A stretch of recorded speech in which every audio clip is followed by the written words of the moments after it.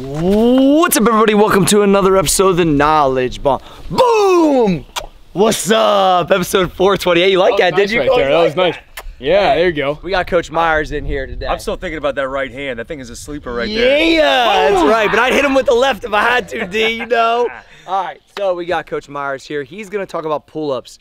D, let me tell you a story real quick. I went to Dustin's garage when I was, I'm here uh, I- we could just drive. hear it. I was about 16 years old. And G says, G, you always want to do chest. Today we're going to do back. I said, all right, D, let's do it. He jumps up, he pulls off about 26 pull ups, and I do one. and I go, I need to work on this. So Dustin got me hip to the back game a long time ago. So I want to hear what his, you know, kind of things he's thinking about when he's doing pull-ups, how wide he likes to do them, how he puts his hands, and he's been a chin-up master for a long time. So take it away, Dustin. Well, let me just first start by saying you closed the gap a long time ago. you know what I mean? So that uh, that 26 to 1 gap didn't last real long at all. I was what not very happy I got beat that bad.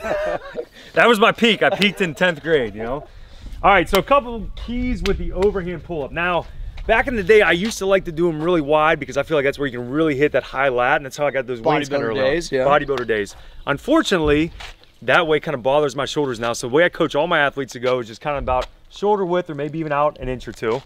And another thing to kind of preserve your shoulders is you're gonna go low, but not all the way down. You don't wanna go to a complete unpacked position.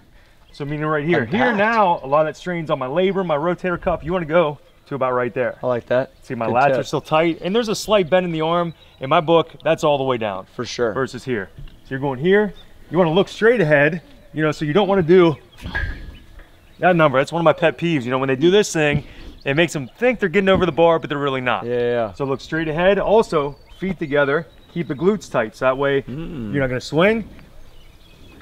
and you can just rep them all day long. Now, if you are competing with your buddy, like let's say, like G after he got pretty good at the pull-ups, now I do them strict, and if I gotta maybe just give just a little bit of kip to get one or two more so I can beat him, then that's fine. But until you need to use it, don't use it. Keep your glutes tight, legs straight, slight bend in the arms, lats tight, look straight ahead, and that's a knowledge bomb. Well, D, I've always done it like this too, and I think I got it from because of how wide that thing was we used to do pull-ups on all the time, Yeah, right? yeah, like I've always felt like I could get more than grabbing the bar. Like you've always done them the same way, haven't you? yeah, yeah. Yeah, and I wondered if it just because that we learned on that wider bar. Yeah, so my dad used to have this rack that was made in the mill, and I'm guessing it was probably a two inch pipe, right? Yeah, it was pretty So you couldn't put your hands around, you had to kind of go like this. Yeah, but for some reason it feels like I can like leverage against the bar better whenever it's like Maybe that. we, our lats were specialized Yeah. for that pull up bar. Knowledge Bomb episode 428. Coach Myers in the house. How to do them pull-ups right.